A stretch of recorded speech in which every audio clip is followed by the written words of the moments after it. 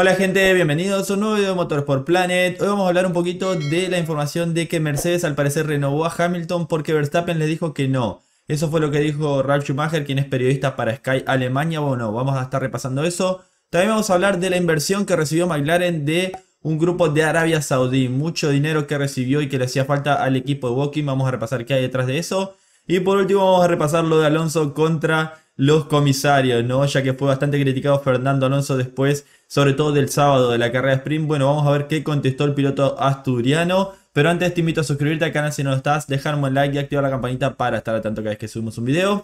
Y comenzamos con lo de Hamilton y Verstappen. La verdad que eh, hace poco tiempo se confirmó ¿no? que Lewis Hamilton, el 7 veces campeón del mundo, continuaría con Mercedes por lo que es 2022 y 2023 hasta finales de la temporada 2023. Por dos años se renovó a Hamilton, lo que deja solo la butaca de Valtteri Bottas que al parecer va para George Russell. Bueno, el tema este es que se barajó bastante la, mm, como la, la opción de que eh, tengamos en 2022 a Verstappen y Russell. No sé si se acuerdan, nosotros lo tratamos en el canal hace un tiempo atrás, que incluso Zach Brown fue el que dijo que eh, veía a lo que es eh, Russell y Verstappen en Mercedes en 2022. Bueno, al parecer Mercedes también quería tener a Verstappen para 2022, pero fue Verstappen el que les dijo que no. Verstappen tiene contrato con Red Bull una de las cláusulas de salida de Verstappen de Red Bull era que eh, si en este año le entregaron un auto que era tres décimas más lento que el mejor auto de la temporada, automáticamente se activaba esa cláusula y Verstappen podría salir del equipo de Milton Keynes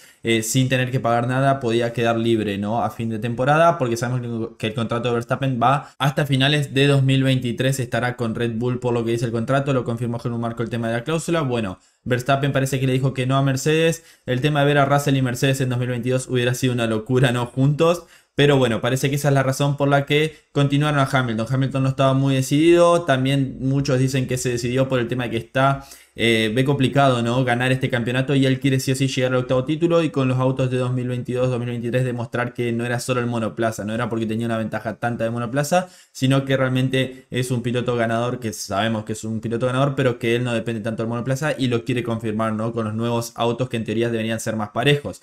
Bueno, eh, es interesante, ¿no? Mercedes fue con todo por Verstappen, se sabía que lo habían sondeado antes, eh, desde tiempos allá por el 2014-2015 donde Mercedes le ofrecía un auto en Fórmula 2 para lo que era el 2015, mientras que Red Bull le ofrecía una butaca en Toro Rosso. Bueno, ahí se fue con Red Bull lo que es Max Verstappen, que en 2016 ya lo subieron para atarlo directamente al equipo mayor, porque también Mercedes lo estaba sondeando para seguir, para llevárselo, mejor dicho, eh, para lo que era la escudería de las flechas de plata. Entonces, siempre hubo un contacto ahí, ¿no? Incluso Jos Verstappen, después de lo que pasó en Silverstone, le pidió por favor a Toto Wolf que deje de llamar a Max Verstappen. Sabemos que hay una buena relación, o hasta el momento había una buena relación, ¿no? Entre Toto Wolf y Max Verstappen, el padre de Jos Verstappen también. Hubo mucho sondeo ahí, pero al final parece que va a seguir con Red Bull y que le dijo que no a Mercedes. Se nota que vio que tienen el potencial, ¿no? Con la nueva era, eh, por ahí se ve que no serán tan dominantes Mercedes como han marcado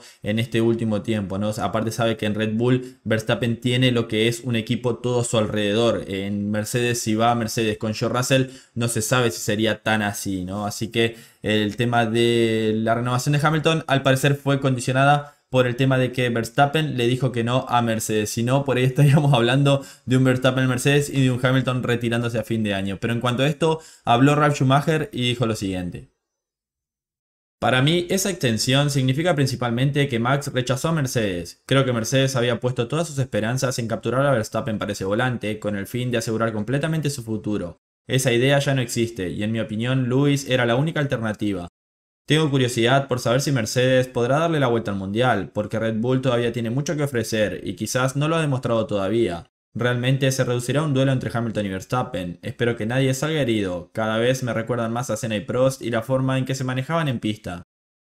Bien, ahí está lo que hablaba Ralf Schumacher, que la renovación de Hamilton era lo único que le quedaba, eh, ya que Verstappen les dijo que no, al parecer, y eh, tiene curiosidad por cómo se va a desencadenar el, campeonato, ¿no? Lo sigue dando como favorito a Red Bull, ya que Red Bull tiene mucho que ofrecer, tiene más potencial ese monoplaza, me parece a mí, eh, todavía para evolucionar que el Mercedes en cuanto hoy en día está mejor el Red Bull y mm, por ahí hablamos antes de circuitos, ¿no? De circuitos Mercedes, de circuitos Red Bull, como por ahí lo era Hungría era un circuito Red Bull, eh, por ahí Mónaco es un circuito Red Bull, eh, por ahí Spa es un circuito Mercedes, Silverstone un circuito Mercedes. bueno, ya no ha cambiado, ya dejó de ser así. el tema de que Red Bull anda bien en todos los circuitos, ¿no? Lo demostró en Silverstone que estuvieron ahí, que si por ahí no tenían el contacto en la curva de Cops, eh, me parece que ganaba la carrera Verstappen. E incluso eso me parece que también llevó a Hamilton a ser más agresivo. ¿no? Hamilton, a mi parecer, sabía que se la tenía que jugar en Cops. Eh, si no, no lo iban a poder pasar después de la vuelta 1, a mi parecer. En cuanto a eso, está muy parejo, pero el Red Bull sigue por encima. En el campeonato son 8 puntos, pensamos que iba a ser mucho. Bueno, el toque le dio esto, esta oportunidad a Mercedes de recortar muchísimo, tanto en el de pilotos como en constructores. Pero creo que en Hungría se va a estirar la ventaja a favor de lo que es el equipo de Milton Keynes. Volviendo con el tema de lo de Mercedes, ya para cerrar. Al parecer, eh, la continuidad de Lewis Hamilton estuvo sujeta a lo que es Max Verstappen, ¿no? De que les dijo que no. Eh, eso también teníamos que ver si era un Hamilton Verstappen lo que querían, un Verstappen Russell. Al parecer, como digo, lo que dijo Zach Brown que veía a Verstappen y Russell en 2022, bueno, no contaba con esto de que Verstappen al parecer les diga que no y se quede con los de Milton Kane. Como digo, que tiene un equipo que ya conoce al pie de la letra, que su equipo lo maneja él como quiere. Es sin dudas el líder indiscutido, indiscutido dentro de lo que es la estructura de Milton Keynes y seguirá por mucho tiempo así. Es un piloto muy jovencito, Max Verstappen, que tiene un futuro enorme y va sin dudas candidato a ser campeón del mundo esta temporada. Es el máximo favorito al día de hoy. Cierro para acá con el tema de lo que es eh, Mercedes, Verstappen y Hamilton y me voy a hablar de McLaren. ¿Por qué? Sabemos que McLaren viene de una época complicada, ¿no? Con el tema de lo que es lo económico, sobre todo en el COVID afectó muchísimo, eh, tuvo que poner en venta su sede en Walking y recibió en ese momento un préstamo de un banco de Bahrein en el que recibieron mucho, una inyección de dinero, creo que en ese momento había sido unos 150 millones de libras bueno, que le ayudó a sobrevivir durante el tema del COVID. Sabemos, McLaren es una empresa privada, tiene inversiones en muchos lados. Bueno, ahora recibió una inversión de lo que es un fondo de inversión pública de Arabia Saudí, unos 500 millones de libras, ¿no? Bueno, se le va a facilitar poder eh, salir de ese, de ese, momento mal que estaban en cuanto a lo económico, que dentro de todo estaban mejorando y le va a poder, permitir pagar ese préstamo que recibió del Banco de Bahrein, como, del Banco de Bahrein, como dije, ¿no? Así que eh, McLaren eh, tiene acciones, tiene, es una empresa privada, tiene inversiones. Bueno, al parecer esta inversión llega a cambio de acciones de, McLaren, ¿no? En cuanto a las inversiones que tiene. Es un grupo privado que tiene inversiones, eh, lo que es McLaren como McLaren Group, ¿no? Así que realmente es una buena noticia para McLaren. Arabia Saudí ya está relacionado con la Fórmula 1, va a tener su carrera este, este, esta temporada. También eh, está relacionado por lo que es Aramco, ¿no? La petroquímica esa que vemos tanto en los sponsors, sobre todo se vio en Austria, en determinados circuitos se ve como sponsor principal del circuito. Bueno, esa es una empresa de Arabia Saudí y seguramente va a estar en lo que es el Gran Premio de Arabia Saudí. En cuanto a esto, en cuanto a la inversión, es como digo, muy importante porque McLaren estaba muy complicado, sobre todo lo que aclarábamos por ahí en otro video, el tema de que eh, el tercer puesto al cuarto puesto a Ferrari no le cambia tanto en cuanto a lo económico, pero a McLaren sí, a McLaren todo lo que sea en cuanto a económico que pueda sumar le cambia muchísimo porque estaba eh, al rojo con los números, ¿no? Incluso, como digo, puso en venta su sede en un momento de la temporada pasada, ¿no? En cuanto a esto, habló un poquito lo que es Paul Wash, quien es el presidente ejecutivo de McLaren, de McLaren Group, mejor dicho, y dijo lo siguiente. Sobre la base de las medidas a corto plazo que implementamos el verano pasado en respuesta a la pandemia global, McLaren ha tomado una serie de pasos importantes para poner a la compañía sobre una base estable a largo plazo, con el apoyo cercano de sus asesores y accionistas existentes. Tras la inversión estratégica en la división Racing que obtuvimos el año pasado, este aumento de capital es un elemento clave de nuestra estrategia financiera integral para respaldar los planes de crecimiento sostenibles del grupo. Con estas sólidas bases ahora establecidas, estamos bien posicionados para lograr nuestras ambiciones como un negocio global de superdeportivos de lujo y deportes de motor de elite, con ese segmento de automoción como el principal motor de beneficios de McLaren. El fuerte apetito que hemos visto por parte de los inversores refleja la confianza continua en la icónica marca McLaren, la tecnología líder de la industria y las grandes perspectivas a largo plazo, respaldadas por una estrategia más centrada y una estructura de capital más sólida y eficiente. Esperamos trabajar con Ares y PIF a medida que aporten su experiencia y conocimiento a la Junta. Bien, ahí está el que hablaba Paul Wash, bueno, de que van a largo plazo, de que la pandemia les afectó muchísimo. En McLaren viene de un periodo oscuro, del peor de su época, de su historia, mejor dicho, entre 2012 y 2018, que fue todo eso, el tema de Honda, eh, que yo lo hice en el canal, se lo voy a estar dejando por acá para que lo vean, porque habla un poco también del tema de lo que es los superdeportivos de lujo de McLaren. Bueno, la decadencia y resurrección de McLaren habla todo eso, ¿no? De cómo se metieron en el mercado de autos de calle, eso lo pudo haber afectado también, que acá lo nombra. Bueno, hoy en día están de vuelta siendo McLaren. Pero si les interesa, eh, vayan a ver cómo termina este video, vean ese video, se los voy a dejar en el link en la descripción para que lo vean porque es muy interesante y explica un poco cómo McLaren llegó a esa situación de estar en el fondo de la Fórmula 1 eh, en todo lo que era una época muy oscura de McLaren, bueno, y hoy en día cómo han levantado, también explica en ese video cómo reconstruyeron a McLaren para ser lo que es hoy en día y se ve esto, ¿no? Que las empresas empiezan a invertir en McLaren porque tienen confianza en McLaren, que en un momento llegó a prácticamente no tener sponsor, tenía a Honda solamente de sponsor. Bueno, hoy en día eh, McLaren es lo que que tiene que ser McLaren en la Fórmula 1. Ese equipo que nunca debió dejar de ser, de estar ahí arriba. Bueno, están eh, en una reconstrucción. Andrea Seidel y Zach Brown, sin dudas, los pilares de esta reconstrucción de McLaren.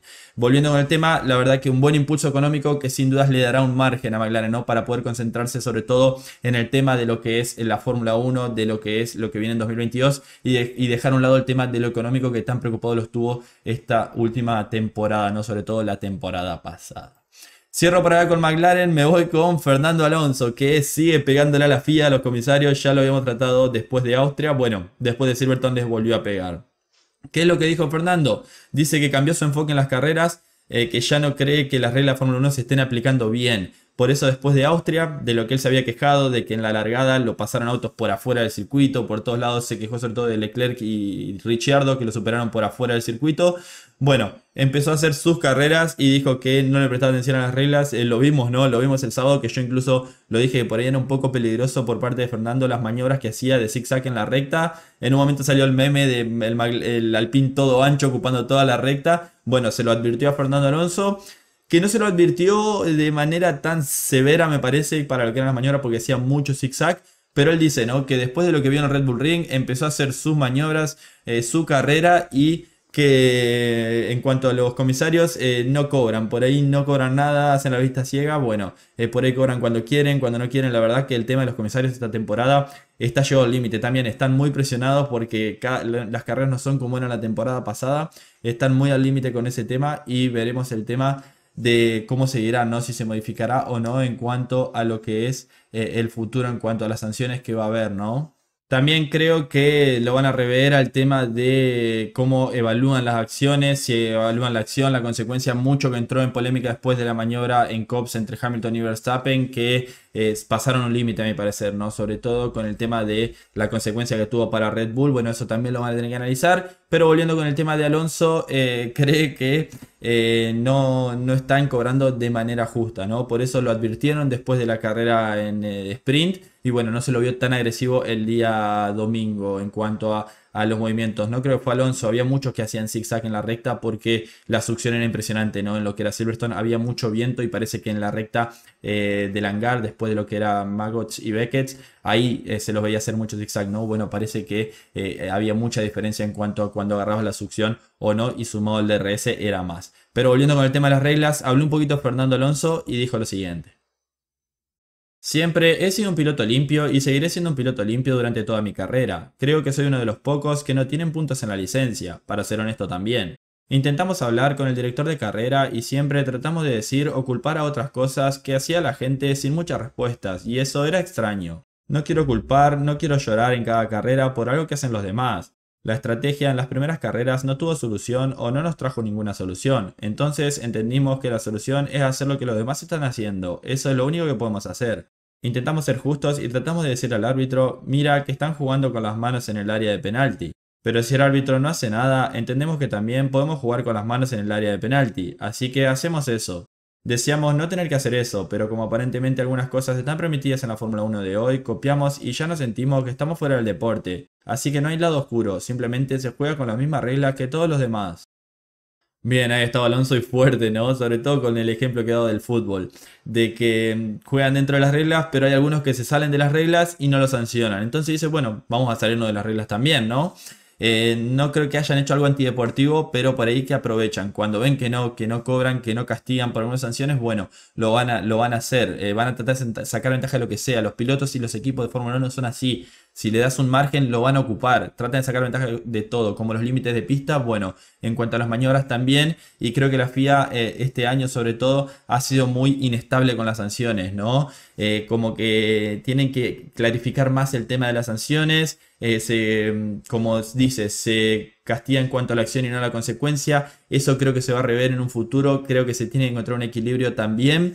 Y bueno, veremos. Pero en cuanto a lo que es los pilotos y los equipos, me parece que han llevado o han superado el límite de lo que es la FIA. Como que le han desbordado, eh, desbordado a la FIA, perdón, en cuanto a cómo castigar y cómo no. Está todo tan parejo y todo eh, tratan de sacar la mínima ventaja que encuentran un gris y lo aprovechan. Es muy difícil el tema de los comisarios. La verdad que nos quejamos mucho de los comisarios, pero los comisarios también eh, tienen un trabajo muy duro cada fin de semana con lo pareja que está la Fórmula 1 esta temporada. Así que veremos si Alonso sigue aprovechando grises que hay. Eh, y se justifica ¿no? con los otros equipos, no se justifican, pero el otro lo hace, yo también lo voy a hacer. Bueno, eso es lo que es. Tienen que dar el ejemplo de que quede clarito, que la sanción sea severa para el tema de que no se vuelva a repetir, sino el tema de por ahí, eh, lo que decía mucho en cuanto a la consecuencia de Hamilton. la consecuencia fue que Verstappen quedó afuera, Hamilton ganó la carrera, sufrió solo 10 segundos de penalización. Ese es el tema, que no eh, permitan que sacara a un rival eh, yo creo que fue su intención, digo, pero por ahí que en una maniobra saques a un rival, eh, lo dejes sin sumar puntos y después gane la carrera, ¿no? Como que es poca penalización 10 segundos para lo que pasó, ¿no? Hablan de la consecuencia, pero como digo, la FIA